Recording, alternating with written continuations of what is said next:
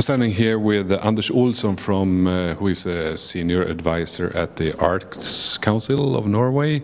Uh, he's here as an observer. And uh, what do you think, Anders? What's, uh, what's your impression so far of this Hack for Europe event in Stockholm? Uh, it's been really interesting. It's a uh, lot of exciting projects potentially coming up anyway. So I'm looking forward to tomorrow to see the result. Uh, is there any uh, trend you've seen along the uh, among the teams that are competing here today?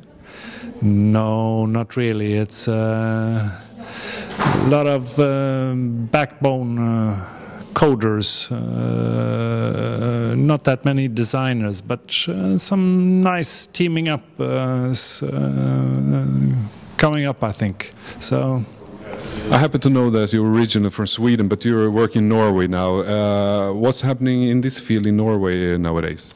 Um, not much really, but uh, as you said, I'm here as an observer, so we have um, yeah, some thoughts and plans of doing a similar thing in Norway uh, eventually. Okay, so that will be arranged by the Arts Council, or?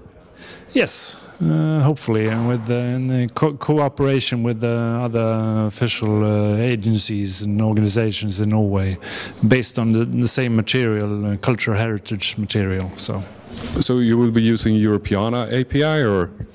Yeah, or a variant of that. Uh, we have a website in Norway. It's called Norvegiana, which is based on the same code base as uh, Europeana. Uh, but bit of, uh, with a bit of a twist, uh, sort of a Norwegian twist to it. So it's probably going to be based on that or uh, uh similar websites in Norway, Digitalt Fortalt, uh, Digitalt Museum or Kulturminnesøk or something like that. Sounds very cool. Uh, we're looking forward to hear more about this. thank you for coming.